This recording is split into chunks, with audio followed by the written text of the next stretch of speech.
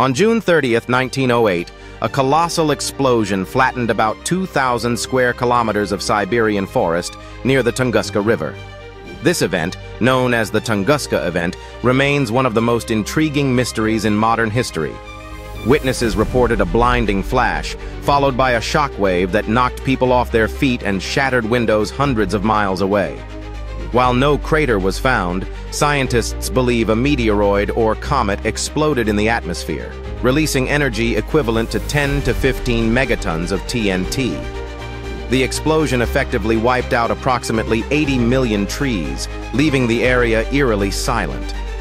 Early investigations were hindered by the remoteness of the location, but Soviet scientists eventually explored the site in the 1920s. Theories abound regarding the cause, ranging from a natural cosmic phenomenon to secret weapons testing. The Tunguska event has sparked interest in cosmic impacts and their potential to threaten Earth. It underscores how a seemingly isolated incident in history can have far-reaching implications for humanity's understanding of cosmic events and our planet's vulnerability. As we venture into deeper space, such mysteries remind us of the universe's unpredictable nature